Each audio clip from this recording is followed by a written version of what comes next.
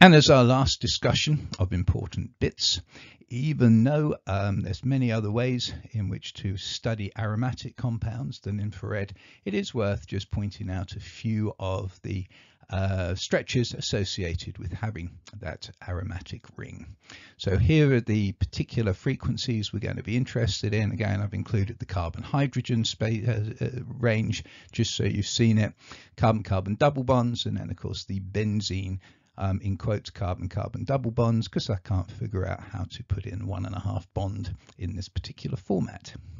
So if I just compare a couple, methyl cyclohexane, so very, very boring kind of spectrum here, right? Essentially, you've got CH bonds, you have the CH stretches, the CH bends, and then various other bits down here associated with carbon-carbon single bonds. Compare that to toluene okay? And again as we look at the the important features here ignoring the fingerprint region because that's particularly nasty although it does have some good stuff in it for aromatics that you'll study when you get to university. Both of them have got the carbon hydrogen stretches both of them have got the carbon hydrogen bends.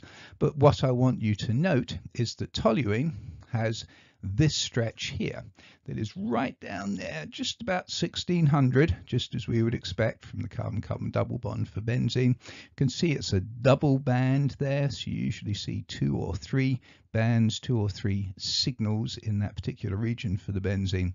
And of course, the benzene ring, the toluene, has it, and the methyl cyclohexane doesn't have it.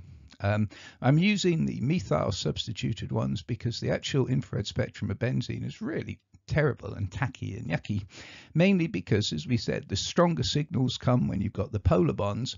When you don't have polar bonds, and indeed when there is a um, lack of a molecular dipole, as is the case in benzene, then you get essentially zero infrared activity. But that again is a conversation for university couple of other examples associated with aromatics.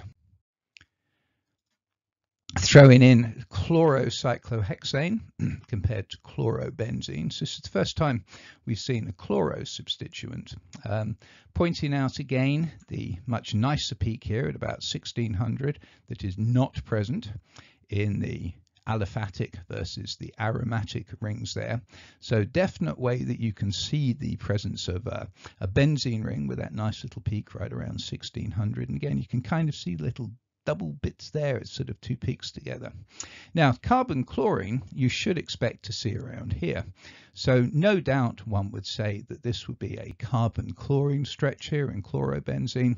And you could probably claim that one of these up here is a carbon chlorine in chlorocyclohexane. But just do note how messed up that fingerprint region is. Really not much use for the average chemist to use in trying to analyze what they have. Very useful for comparing substances, very hard to use it to actually determine what you have. And as a last thought, let's compare the carbon-carbon double bond in a alkene to that pseudo carbon-carbon one and a half to double bond in benzene. Again, trying to find the closest things to compare, cyclohexadiene versus toluene. We've already seen toluene together. So again, you can see there's the carbon hydrogens stretches, the carbon hydrogen bends there, messing around in the fingerprint region. But the important parts are these ones up here at around 16 to 1700. So if we look at cyclohexadiene, there is the carbon-carbon double bond, and we look down there, it's about 1650, which should be smack in the middle of what we expect for a carbon-carbon double bond and the same area there for the carbon-carbon pseudo double bond in benzene. And we expect that to be at a slightly less frequency than the straight double bonds that we see in the cyclohexadiene. And indeed, if I drop a line down from the cyclohexadiene, you can see that it is slightly higher frequency than the one in the aromatic species.